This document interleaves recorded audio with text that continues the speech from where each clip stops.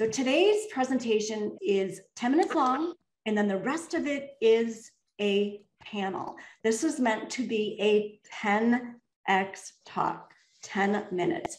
Ready, skill set, flex. We call this the next learning. And this might seem familiar to you because we spend a lot of time learning these days in the flow of work.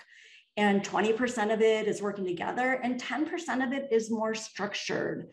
And a term that Gary has come up with is just in time, just in context. Things are moving so fast that we have to be contextual about what it is that we're delivering and learning at the same time.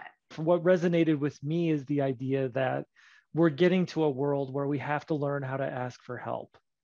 Because very rarely are we going to be the ones that are an expert in a space where we can add a lot of value from what we are experts at.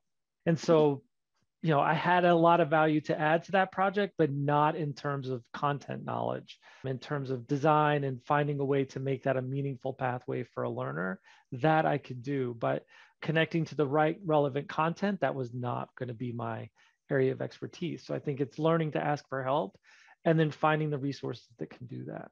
You know, trying to understand those skills at all levels of the organization and also the skills externally and how those look in the labor market more broadly. Because we feel like until we find a really great way to map skills to every person internally, we're going to have to rely on some of that external data in the meantime. So that's why we bring in these external labor market insights. We package them up in a way that's really understandable for the different business units we help them to understand what skills are rising in the labor market, what skills are emerging, where the, the biggest growth has been over the past six months, over the past year, two years, three years.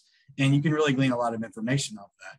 And we found that more than anything, it's a great way to start the conversations with the business because a lot of times they don't know exactly, you know, every single skill they need. You know, they might have thought about them at various points over over the past six months, a year, whenever they've been thinking about it. But those kind of come and go. But when they can see a list and they can see what's what's really growing and what's resonating externally, uh, they can get an idea of, hey, yeah, actually, that is something that that makes a difference internally as well. Speaking of data, I'm going to get back to Tracy, and we were talking about it uh, in the context of self skills and how do you add EQ into the skills? And she she piped up and said, well, it's okay to add them, but like, how do you measure them? And so let's talk about that. Tell us what you know about this process, Tracy.